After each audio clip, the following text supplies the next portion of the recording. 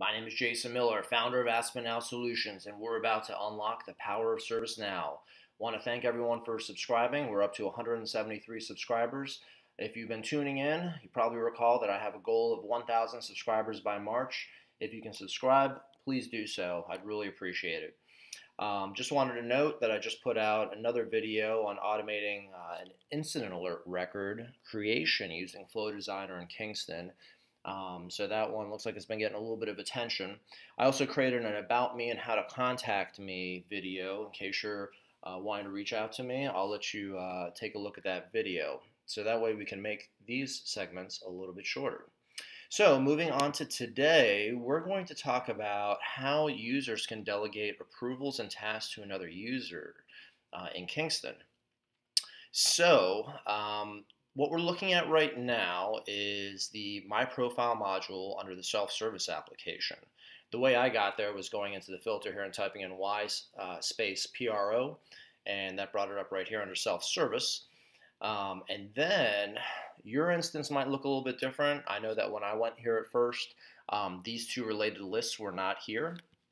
So what these are, um, they're two methods for either um, the user, meaning me in this case, Jason Miller, delegating uh, to another person, which would be Beth Anglin here.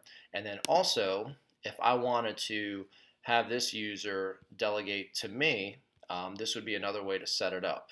And what do these two look like is, well, if I were to click on this record right here, we'll see here user um, is Jason Miller, and he's delegating to, or I'm delegating to Beth Anglin, and I'm setting the start and stop dates right here.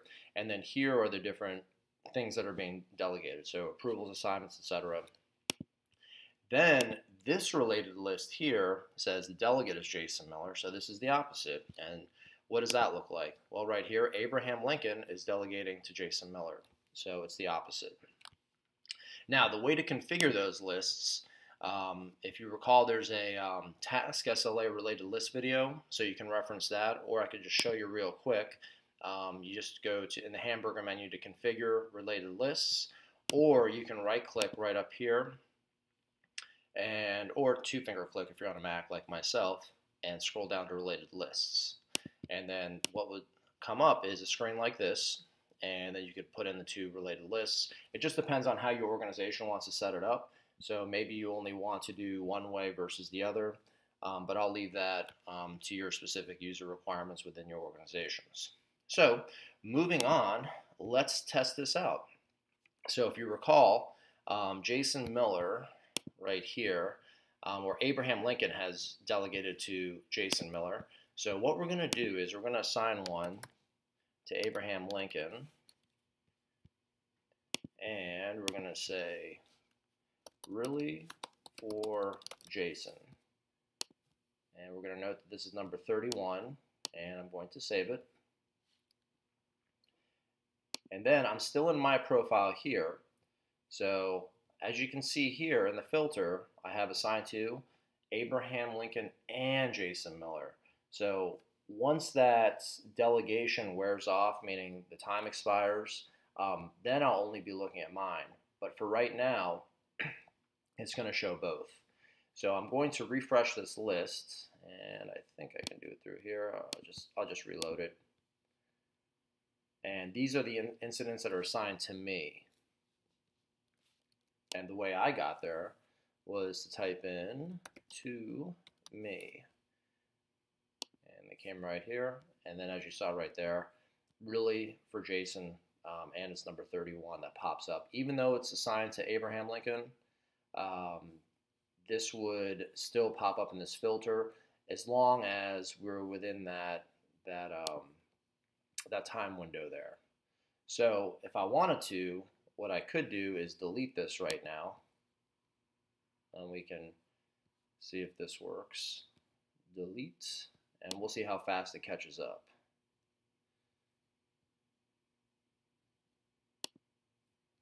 Okay, so I'll go over here and I'm going to reload this list or let me just click on over here incidents assigned to me and now we should only have mine so incidents J Jason Miller the filter is updated and there you have it right Now there's the other question of whether Beth Anglin would have received mine, um, or excuse me, Abe's. But the answer is no. So what I did was I tested this before because um, I had delegated to Beth, but Abe had delegated to me. So I try to trick the system and see if both would would show up in Beth's queue, but it doesn't really work that way. So if I wanted both Jason's and Abraham's to go into Beth's queue right here, they would both have to put Beth Anglin as a delegate. So they've done a very nice job of setting this up to prevent that from happening. Then if you wanted to see the reports on who's delegating to whom, you would just come here um, to delegates. It's under user admin. Click on this module. And then as you can see, the other one disappeared because we just deleted it.